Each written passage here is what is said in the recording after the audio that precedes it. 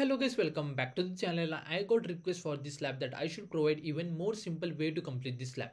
If you watch my previous solution this solution also working absolutely fine. But here what you do we have to complete couple of tasks manually. But now you don't have to do that. Basically what you do you have to just come back to your dashboard over here and just activate your cloud shell. It will take a couple of seconds. Meanwhile in the description box of this video i will share all these commands. So basically what you do you have to come back to the lab instructions and just click on the task number one.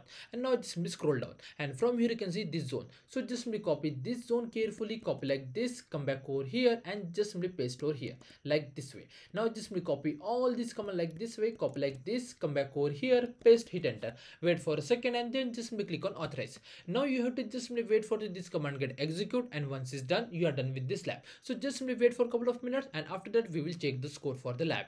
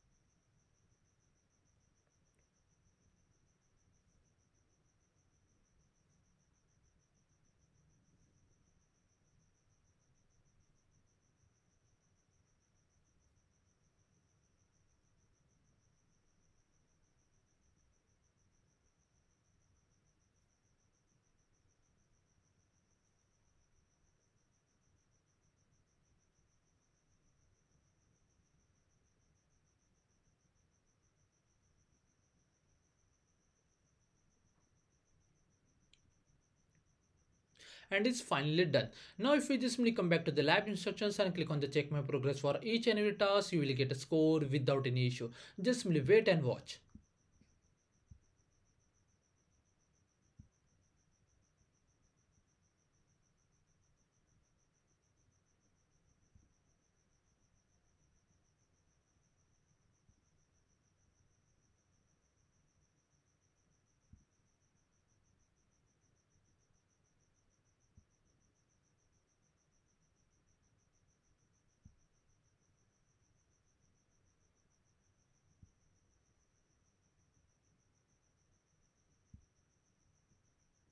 And as you can see it's done. Lab take time to update the score so no need to worry about that. Just simply wait for a couple of minutes and you will get a full score on this lab without any issue. And that's the way we have to complete this lab. If you still have any doubts please do let me in the comment section. Thanks for watching and have a good day guys